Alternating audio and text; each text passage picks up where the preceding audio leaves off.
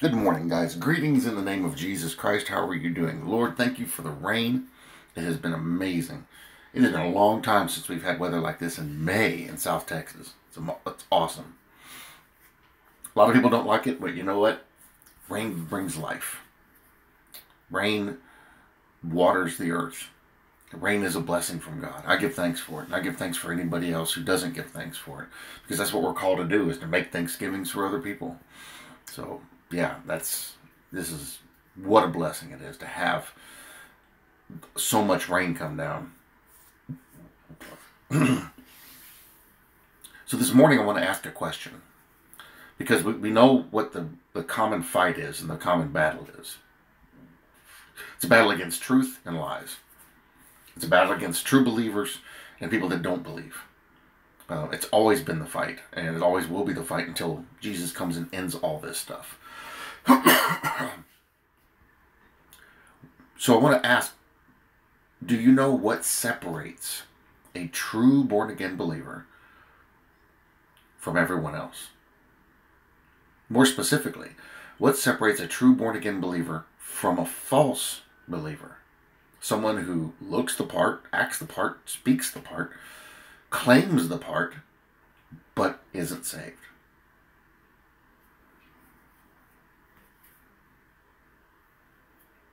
Allen Parr did a video yesterday uh, where Marcus Rogers had called some guy out who was preaching uh, about the gift of tongues and how that, in order for us to communicate with God, we have to have the gift of tongues. And a lot of people believe this. A lot of people but they've been taught something else because that is not what the Bible teaches. They miss the wording. In the specific scripture used, it says, uh, when the Holy Spirit indwells them, uh, these things shall follow those who are saved. And then it gives a list of things, and tongues is one of them. And people think that's their indicator that they should have to have, they, they have to have the thing of tongues. And there are people out there praying for tongues and all that, and it's like, whoa, hold on. Go back and look at the scripture. It says shall follow. It doesn't say will follow. It doesn't say is a requirement. It doesn't say by the will of the save of the person who's saved. It doesn't say they will be on demand. And that's what people do. No. It's not true. It's a lie. We've been taught it was true, but it's not true.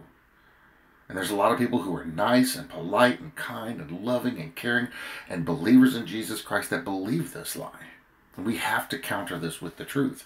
And at that what that says shall follow them. That doesn't mean that's what you're going to get, because not everybody gets it. You read the Bible, you see there's plenty of examples where people didn't get it. You see where the apostles had it and then it disappeared. Anyone ever notice that it talks about them doing that on the day of Pentecost and then they never did it again after that? It never mentions them doing it again. There's a reason why that is. That gift serves a specific purpose, and it'll only manifest when that purpose arises.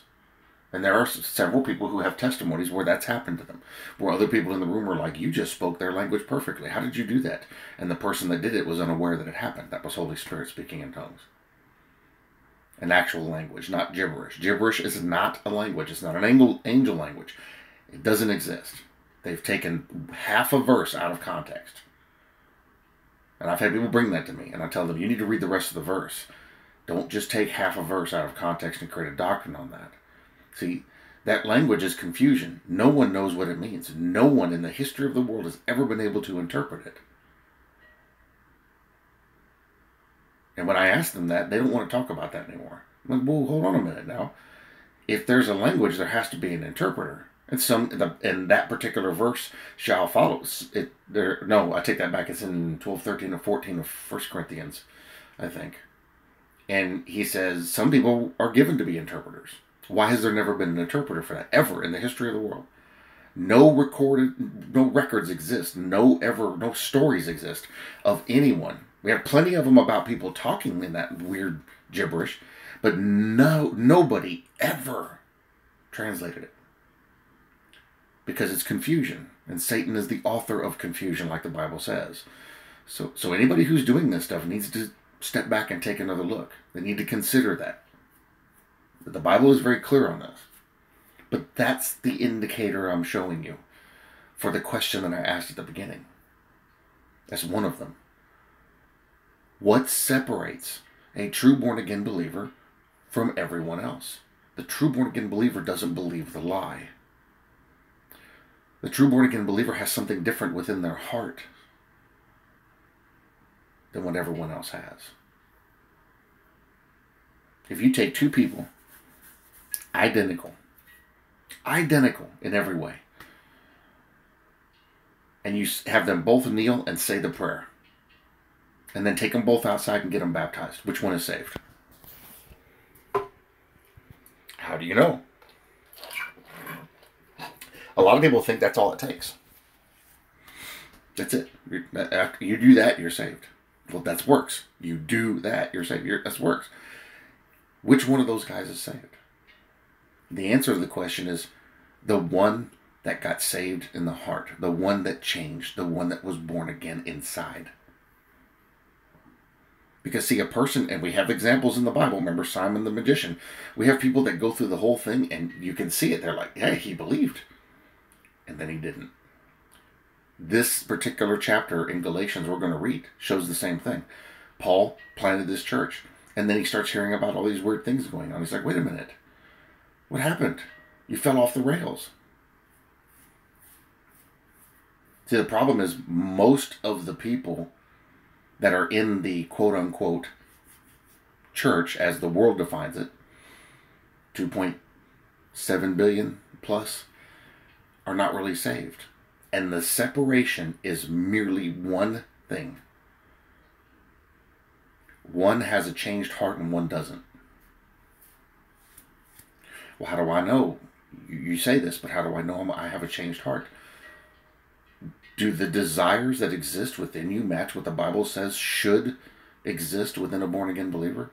Or do the desires, and you have to be honest with yourself, or do the desires exist within you that follow the unbeliever? See, the reason why they never said believer and unbeliever on those particular verses was because they had people that claimed to be believers or even thought they were believers that were that that weren't saved and they were doing these things. so they shared the fruit. Here's the fruit of the spirit. This isn't the fruit of the spirit.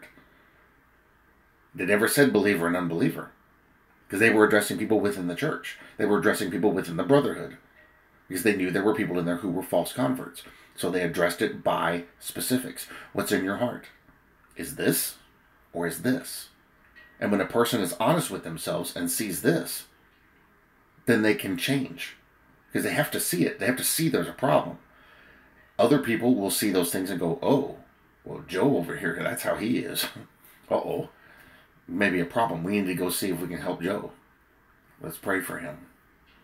See, he was sending a message to everybody to the non-believer, hey, this is you. You better get right. There's no no place in the kingdom for you. And for the believer, hey, you need to pray for these people, or you need to avoid these people. They were sending messages through their epistles. It's hidden. Because as soon as they started the churches, they, they started destroying them from the inside out. Satan knew what he was doing. I can't get him on the outside. I'm going to get him on the inside. And he did. And he still is. The greater part of the organization is corrupted, is involved in lies, is misled. In many cases, they have witchcraft involved in it. Some of them don't even realize that's what they're doing.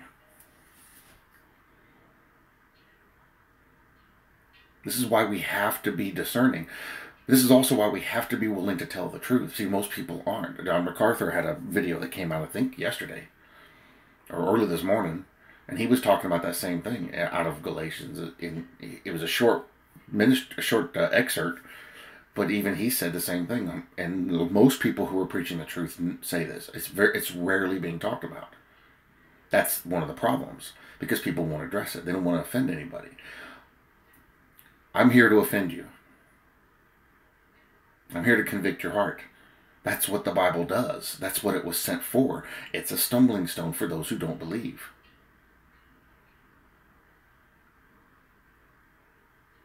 But if we're if we're never challenged on our faith, if we're never challenged on what we believe in, if we're never reading our word and let, having the Holy Spirit challenges, we believe and get tossed to and fro with every wind of doctrine. But we don't want that. We want to be rock solid in our doctrine. What's the truth? Grace through faith. Simple. Jesus on the cross, paying the debt for our sin. Simple. We want to know that we're saved. But there are so many people out there in doubt. And the only thing that causes doubt is lies. The truth doesn't cause doubt. the truth causes change. And that change exists within the heart of the person. So the, to answer the an, an original question, a changed heart is what identifies a true born again believer from a false one. How do we see that? We don't. We have to look at the fruits of the Spirit contained within them because there is a false Holy Spirit. So we look at the fruits being manifested by that Spirit contained within that individual. To the false believer, it'll be this list of the wicked things. To the true believer, it'll be this list of the good things. If these exist, that, that person's on the right track. That person's there. If the other things exist, that person's not.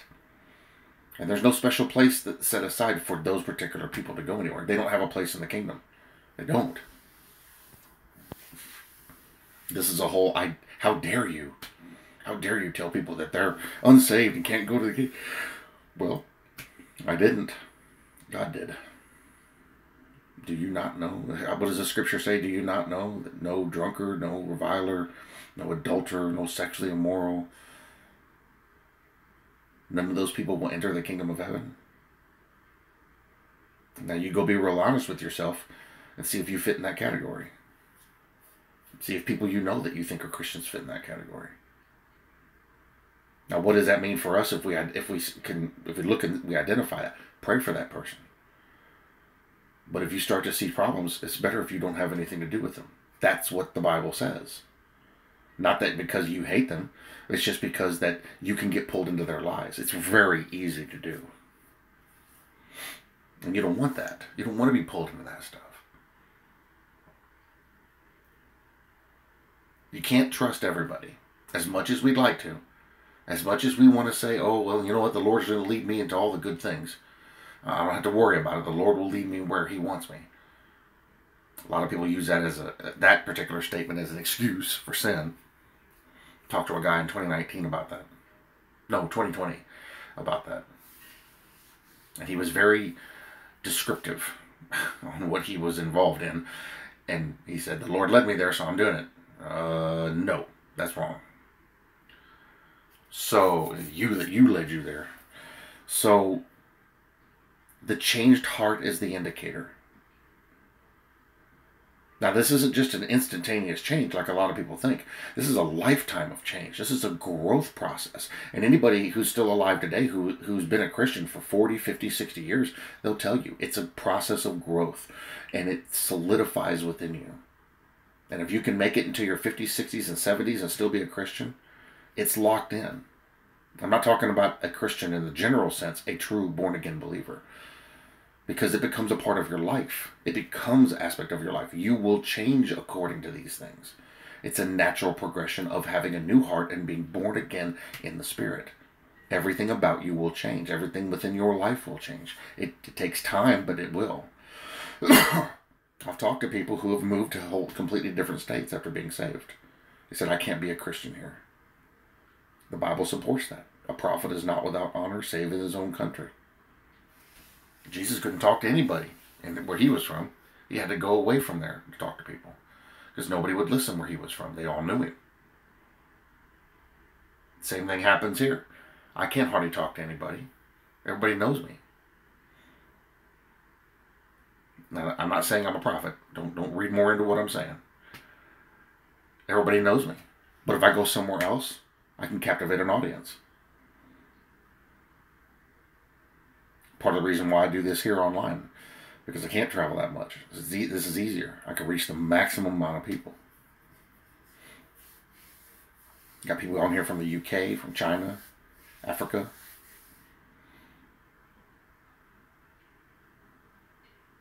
The problem that we have today is that there are people who look the part. I just had a channel recently. Somebody was suggesting a channel to me and I looked looked at one of their prayer live streams, and the young man seemed like he was pretty on point. And then there's a video of him mocking the rapture.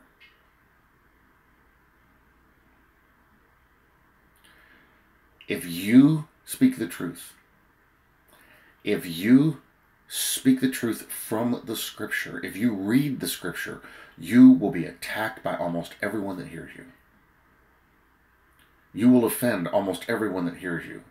You will hurt the feelings of almost everyone that hears you because every one of us has to have conviction. But less than 1% of us know what to do with it or even how to identify it. We think it, oh, I can't believe he said that. That's why I had so many people come to me, especially in 2020. I can't believe you said that. Said, what? That part in the video. Okay, give me a timestamp so I can go hear it. Because I have no idea what you're talking about. Oh, okay. That's I was reading from the Bible. I can't believe you said that. Well, I was reading the Bible. And I had to tell one lady, you need to stop and think about what you just said. You can't believe I said that. I was reading the Bible. So you're mad at the Bible? No, that's not what I'm saying. Well, that's exactly what you're saying because that's what I was reading. It was the scripture. You're not mad at me. You're mad at God. See, people don't know how to identify it because they're blind. They don't know how to how to engage it or deal with it because they've never been challenged before. Now, true born again believers, they're going to swing into the Lord. Lord, show me the truth on this. Those who aren't are going to go the other direction. And they're going to go latch onto and stick with people who give them what they want, not what they need. Because sometimes what we need is a bitter meal, stale bread, and old water. Sometimes we need to be fed with the sharper blades of grass instead of the soft, chewy, the softer, tender ones. Because that reminds us to stay in the faith. It reminds us to stay with the Lord. It reminds us not to wander into other myths. And uh, guys, some of the stuff, if you go back and look at my videos from mid to late 2019 through the beginning of 2020, some of the stuff I found it would just sicken you. Some of the things. That one channel that I found, I, I even told my wife about it, and she's like, What? Are you serious? Yes, I'm serious. I could not believe it. It was just one night late, I was up. And uh, I can't even repeat what was going on. I can't even repeat. It was that disgusting. And they were attaching Jesus' name to it. And it was a group of people who thought they were saved. I told them in his comment section. Actually, I sent him a message on his community tab or discussion tab. I, I, can't believe that this is what you're propagating here. This is what you're telling people and teaching them. This is wrong. Well, you just don't understand because you're not one of us. No, you're not one of anyone. you guys are by yourselves. What you're doing is disgusting. And it shames, brings shame upon the Lord, not glory. Right into another guy that said Jesus and the Holy Spirit were women because of one word in the Bible. One single word. So I promptly commented to him and I put in his video. Somebody sent it to me. I put in his video. Here's the scriptures and here's the Greek in the Hebrew and what it really means. You're misrepresenting this. I'm a scholar of languages. I don't care who you are, you still got it wrong. You're trying to make money, and and that's a that's another thing. If you're looking at channels, if you find a channel that's got a ton of people on it, be careful. Now, there's good channels out there with lots of subscribers, but if you run across a channel that's got a lot of subscribers, I'm talking about, you know, 90, 100,000, 60,000 to 100,000, way up there.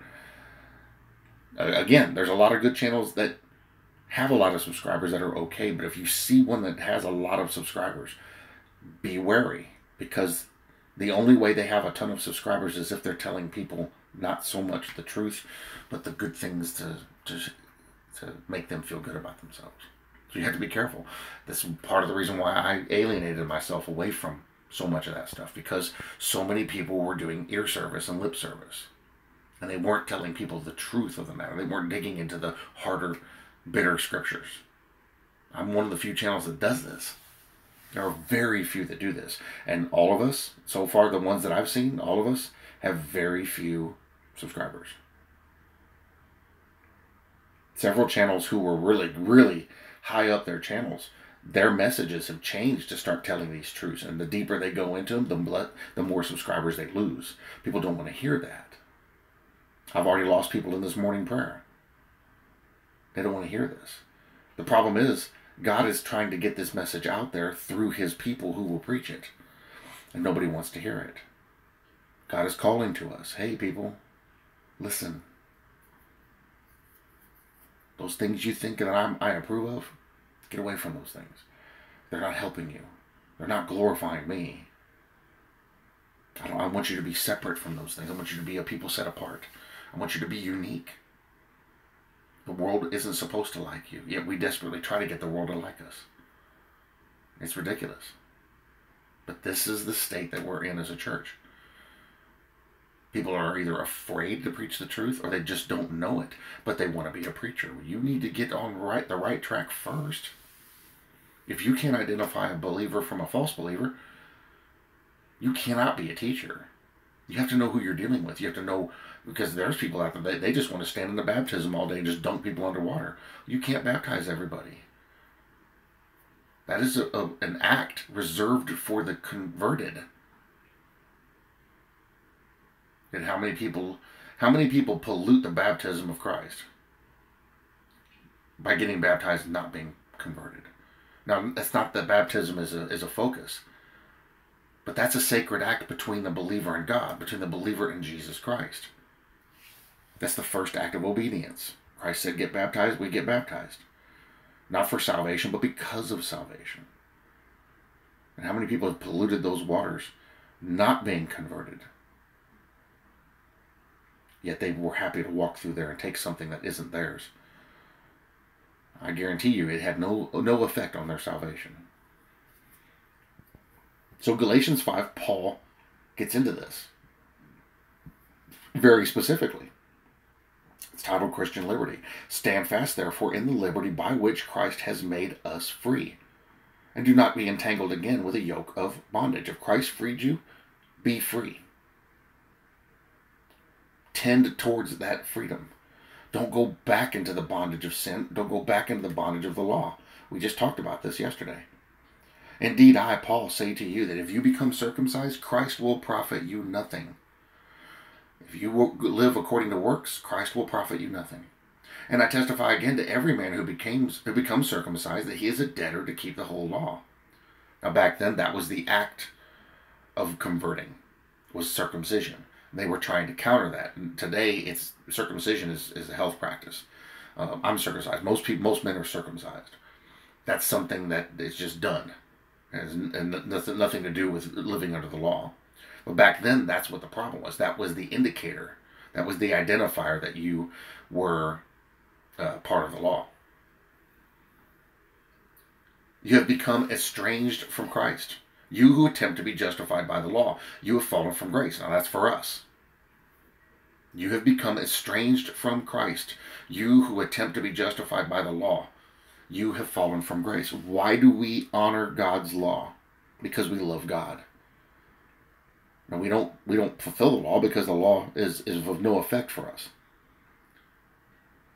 Why do we look at the Ten Commandments and consider what they say? Why do we compare them to what John said and what Jesus said?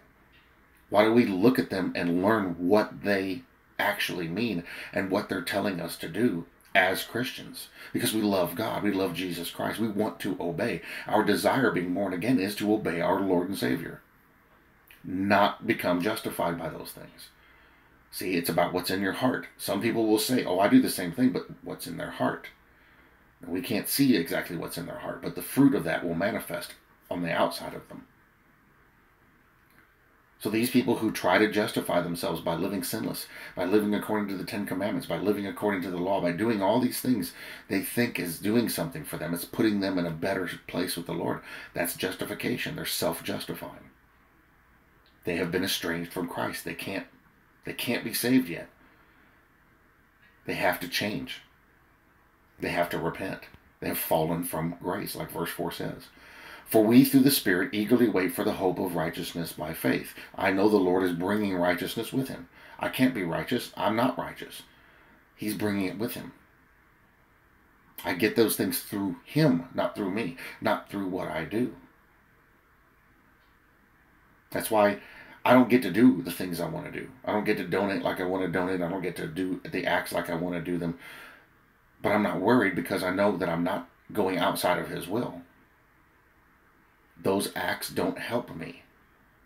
The true works that make the difference, the true works that matter, are the spiritual works. For we through the Spirit eagerly wait for the hope of righteousness by faith. For in Christ Jesus neither circumcision nor uncircumcision avails anything, but faith working through love. Look, look at verse 6 again. Let me highlight this. For in Christ Jesus neither circumcision, law, nor uncircumcision, no law, avails anything, but faith working through love. Ironically, faith through love is the two commandments John gives when he repeats the same statement Jesus said in uh, John 5 or 6, I think, or 4. He repeats the same statement and then says, And here are these commandments. He says it quite clearly in 1 John. Here are these commandments believe, love. That's the law we fulfill and you go into the Ten Commandments, exclude the rest of that stuff. I don't need the rest of that stuff. You go into the Ten Commandments, you see which ones are faith and which ones are love and which ones are both. By faith and love, you fulfill the law. I believe Jesus is coming. I believe and know that I cannot be perfect. I need Him to make me perfect. I believe and know that there's a day coming when He will make me perfect. I know I can't do enough good stuff to counter anything that I've done that's bad. I know that I can't do enough good stuff to make him love me more. He already loves me as much as he's going to love me. The things that I do, I do because I love my brothers and sisters. I love my fellow man and I love my God. And that's my driving force behind those things. If my driving force was anything other than that, they would be sticks and hay and worthless. The prayers that I pray are because I love my brethren and my God. Those things that I do to glorify God, those are the things that matter. Those are the things that will stand in the Bema seat. Everything else is worthless. So I wait for my Lord and Savior. I live in faith. I walk in faith. I wait in faith for those things. We have all these other people out there that are trying to bring heaven down here so they can have you can have your best life now here on earth. No. I don't want it here. I want to be in heaven with the Lord. That's that's another indicator of who's saved and who isn't. Because somebody who's trying to bring heaven here and have heaven here, they don't understand. It's not for here, it's for up there. And if you get your best life here, Jesus said the parable. What did Abraham tell the rich man? You had your good life. You had your best life now. And now you're tormented. Whereas Lazarus didn't. He suffered his whole life. And now he's comforted. Jesus put that parable in there and worded it that way for a reason. So we have to pay attention to those things. You ran well. Verse 7 Who hindered you from obeying the truth? Everything was going great. You, I planted you guys. You guys were saved. You guys were good to go. What happened to you? Who hindered you from obeying the truth? This persuasion does not come from him who calls you, Jesus Christ. It doesn't come from him. A little leaven leavens the whole lump. A little law, a little law ruins the whole thing. So you can't be a Christian and follow the Jewish law. You can't be a Christian and try to cultivate your life around those Ten Commandments. And we look at the Ten Commandments, and I look at my life and go, okay, where's where's the problems here? Is anything outside of the guidelines God has made? But I don't live my life according to those because if I did, I wouldn't do anything for anybody. I wouldn't talk to anybody. I wouldn't do nothing for anybody unless they did the same thing. And that's the problem we see with people today trying to do this. They do, they put themselves in a, an exclusive group. Now it's legalism. You can't do that because I can't take what I'm doing and what God is leading me to do and lay that on someone else and say, you need to be doing this too. What do I tell you guys when you communicate with me privately? Go to the Lord. Find out what His will is in this situation for you to do. I can only give you advice and share you scripture. I can't tell you what to do. You have to go to the Lord and find out what He wants you to do because your life is different than mine. Where He's leading you and where He has saved you and what He's doing with you is different than what He's doing with me. So one person who leads a very righteous life is the exact same Christian as the person who can't get out of their sins. They struggle. They hate their sin. They, they want to be out of their sin, but they struggle all the time. God loves both of them the same. He saved both of them if they're born again. Now, the person who makes excuses, that's different. Again, it's what's in the heart. A true born again believer has that born again heart, that changed heart. So, that regardless of the life they live, thief on the cross, regardless of the life they live, if they're saved, they're saved. Because it's the heart that changes, not everything on the outside. Some of the best looking Christians are some of, some of the worst offenders of the gospel. I dare say most of the best looking Christians are offenders of the gospel. If you lead a, a thousand people to Christ and you pray for them and they, they say they believe, I promise you only 10% are only going only 10% are going to believe. 100 out of that thousand may convert. And after five years, that may change. It may go down. It probably will go down. That's the process. That's how it works. So, what do we do? We look inward. We identify within ourselves what the problem is within us. but the problem that Paul was dealing with here in Galatians is that he was, they were getting into their little cliques, in their little groups people who are charismatic were coming in there. And they were like, hey guys, check this out. And they were getting sucked into those little groups and little cliques, and then there was contention in the church. They're not supposed to be contention in the church. We're all supposed to be of one group, regardless of the life we live, regardless of where we come from, regardless of who we are. We're all supposed to be of the same group. A little leaven leavens the whole lump. Let me finish with these scriptures so we can pray. Verse 10 I have confidence in you in the Lord, that you will have no other mind, but he who troubles you shall bear his judgment, whoever he is. So the people that are doing these things have a judgment before them. They know this. They won't admit it, but they know it. Because when you bring it up to them, they don't want to talk anymore because they know the truth. And I, brethren, if I still preach circumcision, why do I still suffer persecution? Then the offense of the cross is ceased. If a person is telling the truth, they should be under severe persecution. People should be avoiding them. There should be hatred of that person. But if a person, the Bible says, beware when men speak good of you, if that person is pretty popular, I'm not saying there is a problem, but there sure could be. Because we're not supposed to be that way.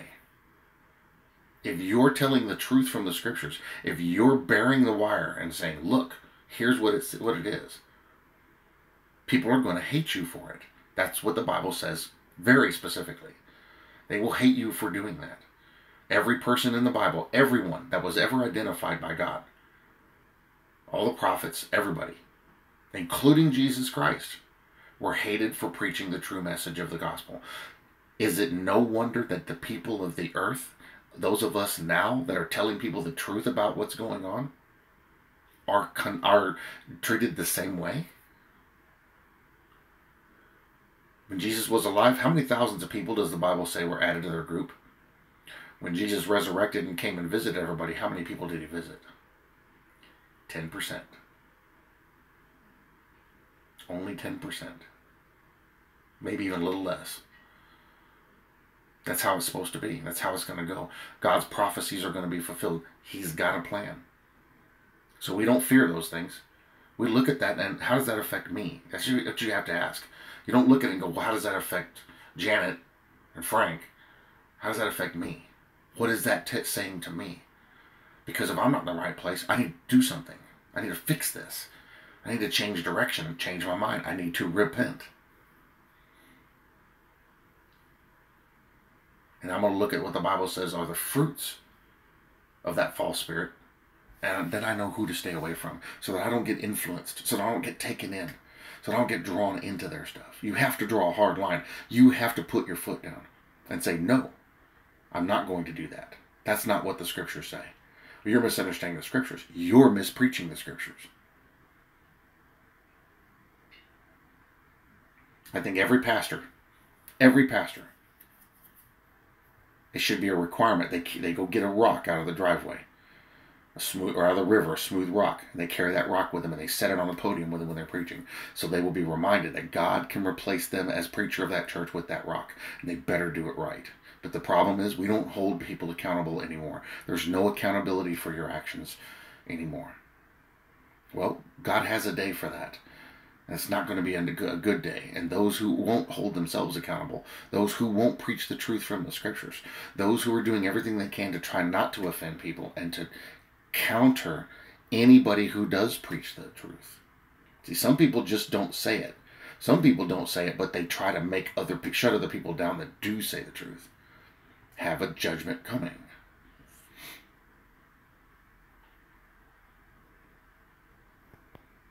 Again, verse 11. And I, brethren, if I still preach circumcision, why do I suffer persecution? Then the offense of the cross has ceased. If I was siding with everyone else, I would have three, four thousand subscribers. If I was doing what they were doing, if I continued with them and just kept my mouth shut and custom tailored my message to the way they wanted it, I would have thousands of subscribers. but I would also be sucked into that deception. I would also be pulled into the money game they got going on. I don't want that. That's not my interest. I want God. So the consequences are only about 30 or 40 people watch my videos. It's supposed to be that way because very few people really want the truth. And of those, those 30 and 40 people, some of them are looking for something they can use to make a video about me, trying to make me look bad. Not everybody's going to be saved. This is the harsh reality of this. Not everybody will be saved. That's why he's given 2,000 years for the church to be collected. Because not everybody will be saved.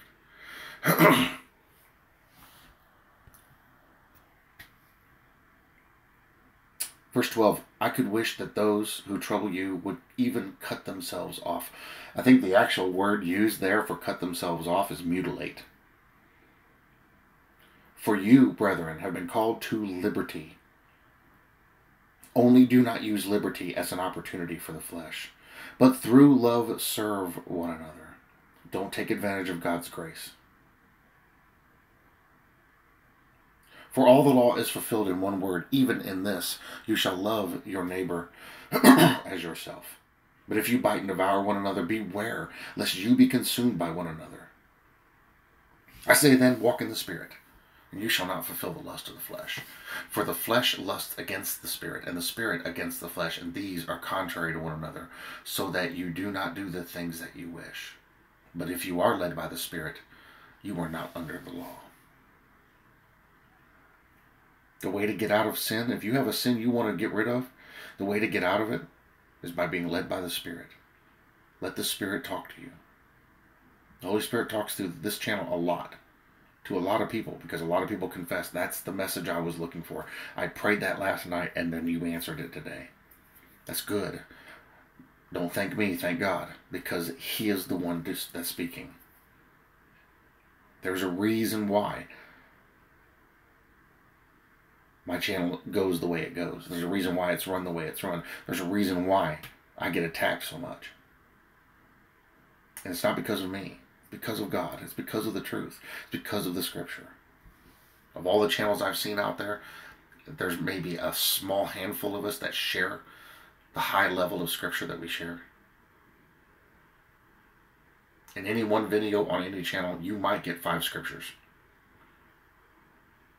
But there's a tiny handful of us out here on YouTube and a few other things that will share you 20, 30, 40, 50 scriptures to prove the point clearly, to show exactly what the Bible says.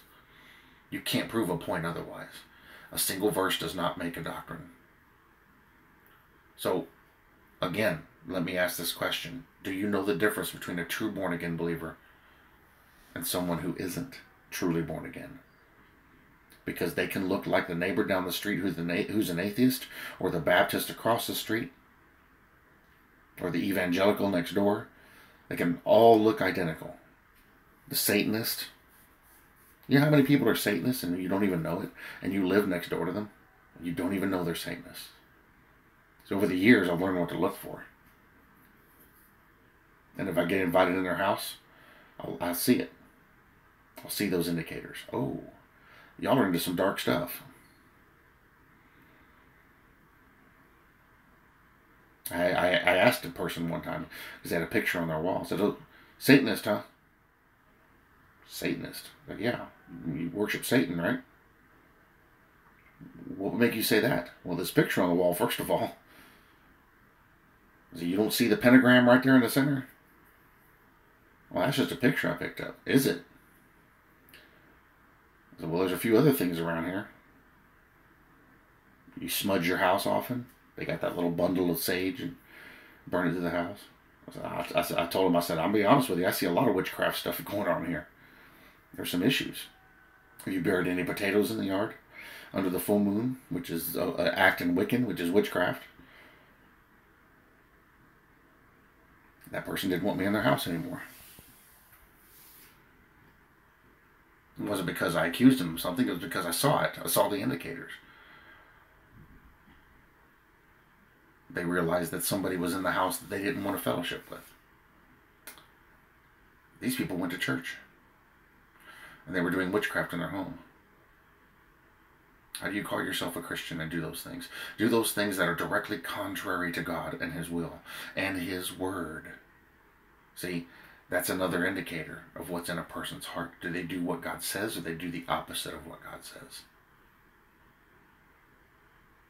If you can't back up what you're doing and what you're saying with the maximum amount of scripture possible, the bulk of scripture should support it, you're doing something wrong. Now, I'm not saying this, and I didn't put this commentary out there to make people mad, but it's going to do that. I didn't put it out there to offend anybody, but it's going to do that. I didn't put I didn't say all these things and put them out there because I'm trying to make enemies, but it's going to do that.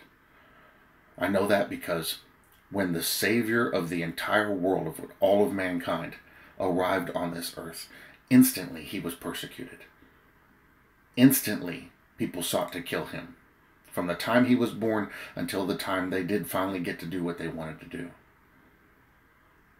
That when truth comes, mankind attacks it. Very few people believe it. Very few people pay attention to it. So anytime you're going to give truth, anytime you're going to be honest with someone, you are going to be vehemently attacked for it. That's why so many channels started in 2019 and ended in 2020. That's when so many channels started in 2020 and ended by the end of 2020. 2020 destroyed a lot of YouTube channels and other channels of people who weren't ready the people who weren't prepared, who thought it was going to bring them glory, and it didn't. It brought them attacks and hatred. And so they shut their channels down. They deleted their content. Not realizing is that if they were called, they did not answer their call.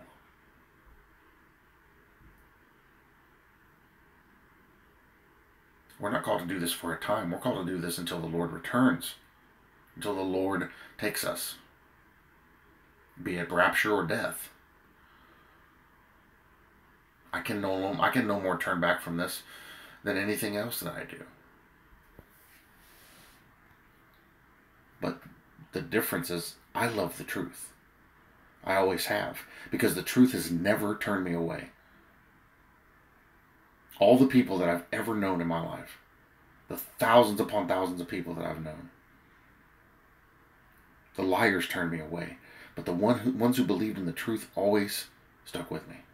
The ones who believed in the truth always accepted me. And I regret that I got separated from every one of them. And, and it kills me, but it is what it is. That's what Satan likes to do, separate people. I love the truth. I love integrity. Those things dwell within my heart. And anyone who really wants God is exactly the same. Not because I'm that way, but because that's how He makes us. That we would love the truth, love peace, love everyone as much as we possibly can. It's just unfortunate that we see things going the way they are. But then again, Second Thessalonians tells us this is going to happen. The great apostasy. We're witnessing it. People that I talked to last year, 2019, they've gone on and, and gotten attached to weird stuff. Many of them, not all, but many of them. They didn't endure. So we pray for them. We ask God to have mercy on them and to show them the light and bring them back home. And we give thanks that we have what we have. We give thanks that we are where we are and that we can see what we can see. Because I'll tell you what, it, this is from my personal viewpoint. It is better to be on this side of the hatred than on the other side of the hatred. I would rather be on this receiving end than be on the giving end because the giving end brings judgment, serious judgment. Being on the receiving end brings glory, brings reward, brings peace. And when that day is realized, everyone will realize it. And that's only because I read the word and I see what it says. That's why I believe it. God is truth. So if you hate truth, then you must hate God. Let's pray. Father, we come before you this morning in the name of Jesus Christ to give you praise, to give you honor, and to give you glory, and to sing praises unto your holy name. Father, we give thanks. First of all, let us give thanks for the rain and this wonderful weather you have brought in this time of year when we usually don't have this weather. And I make intercessory prayer for those who have not given thanks for this. I give thanks for them too. Because you tell us that's what you want us to do. This is a good thing. I give thanks for them too because we all needed this rain. South Texas has had a lot of drought. Thank you again, Father, for this. This wonderful blessing.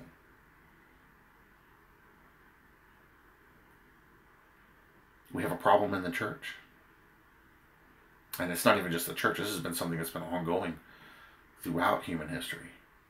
People don't love the truth. They say they do, they think they do, but in reality, they don't. And that is evidenced by their actions. It's evidenced by their desires, by what they decide is true or not, or what they decide is good for them or not.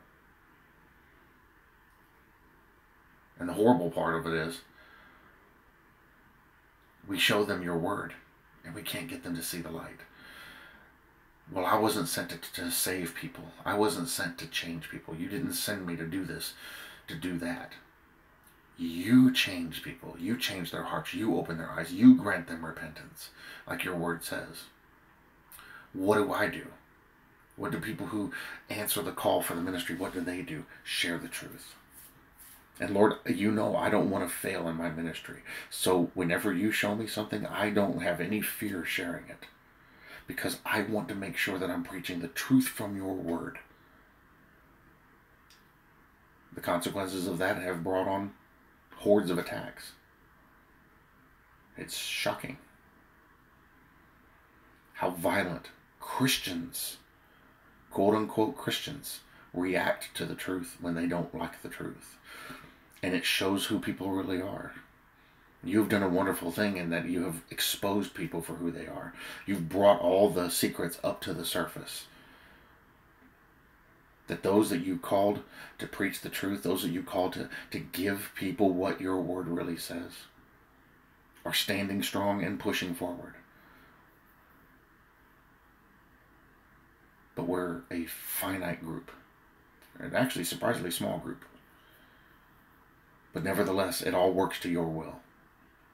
So, Father, I thank you for these attacks. I thank you for this hatred. I thank you for this ministry that stirs people up, that causes people to be convicted. Because I know conviction helped me and I know it helps others. I thank you for leading all of us into this, and really it's a tiny group that we all, that we are all a part of here, leading us together to share in these truths to discover things about ourselves we didn't know, but that are brought to light by your word. To learn more about you and what your will is for us. Your word shows us that. It shows us our deepest, darkest secrets. It exposes what's in our heart so that we may purge it and take in truth and light and peace and understanding. And you make it so easy. But the hardest part is taking that first step. Well, to everyone listening to this prayer right now, it's only the first step that's scary. The rest after that are very easy. And God makes it easy on purpose, but He wants to see you move that foot. Father, I pray for all who are listening that if there are some things they are denying, that you open their eyes to the truth and open their hearts to receive conviction and receive truth, and so that they would desire to be changed. So they would come to you in prayer and ask you to change the things that need to be changed within them. I've prayed this prayer multiple times, many times. Lord, find what's in me. Search me out. Find what's in me. Find what's in my heart. Remove it. Remove it and replace with it with what you want there so that I serve you diligently, so that I serve you in truth.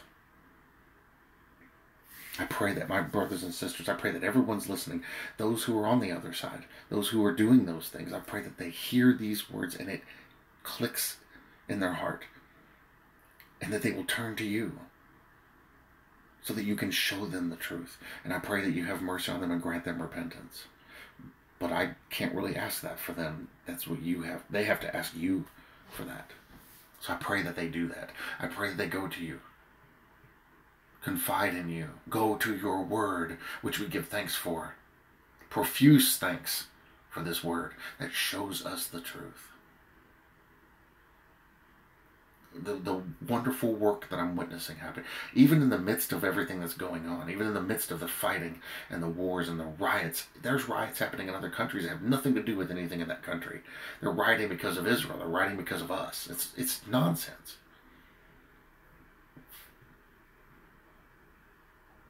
But you have awakened the truth in a few people, and they are standing up. But most people aren't listening. And that's unfortunate, and I regret that. But I know that that's the way it is. Because your word gives multiple examples of this. That's the way it is. People won't listen, they won't hear you. And it's been going on for thousands of years. And you were no stranger to it, certainly. You were there at the beginning and saw it happen.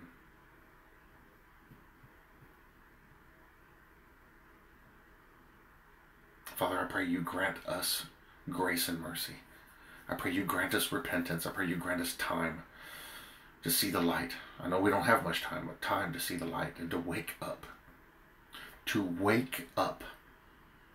To wake up to your truth.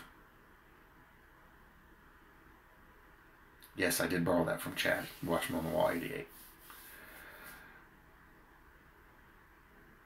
We need to be awake. We need to be visually aware. We need to be spiritually aware of what's happening around us and within us. Father, I pray you make that happen within, uh, within us, that we are visually and spiritually aware of what's happening. A lot of people aren't even aware the world is coming apart.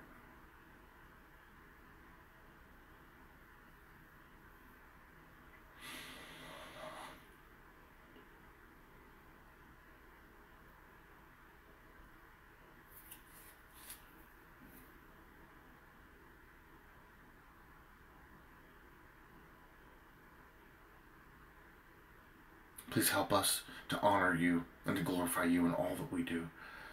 In these prayers, in our daily lives, in our personal prayers, in our scripture reading, please help us dedicate more time to you and to your word.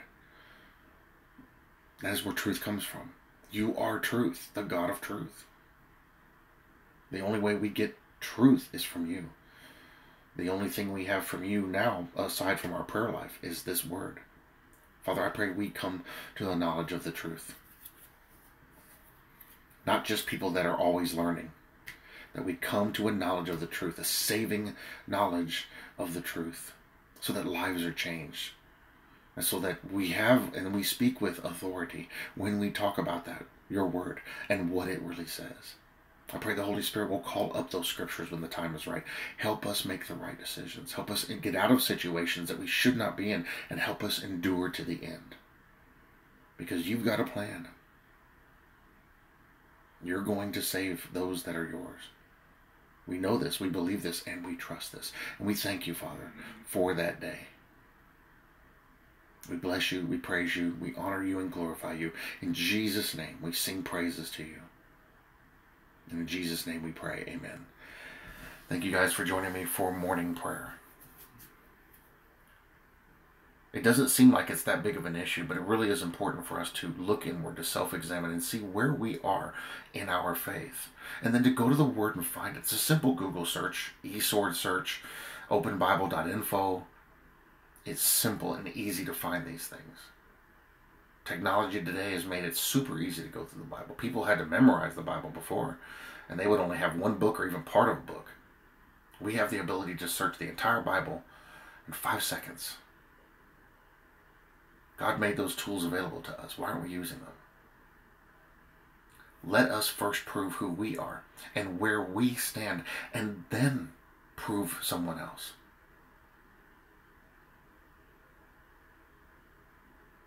Jesus made an interesting analogy.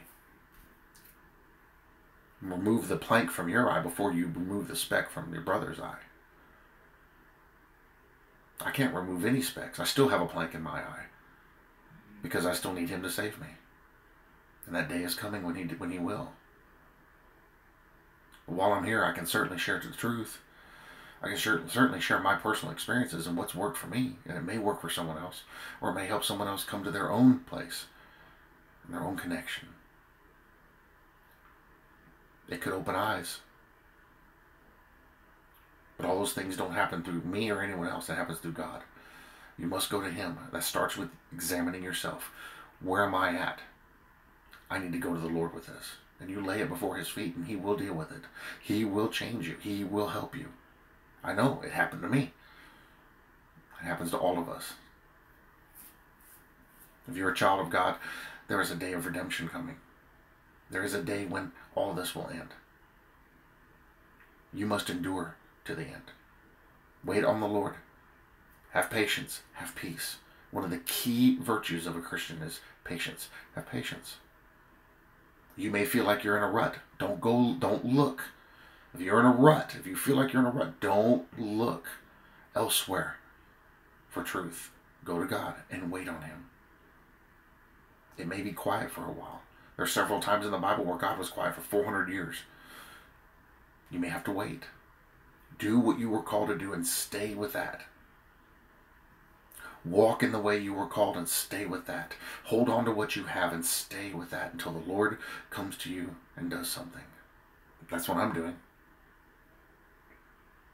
I'm waiting until the Lord comes and brings me something else. Until then, I'm going to do what I was called to do. He got me solid in this. He got me locked in. Now we're moving forward.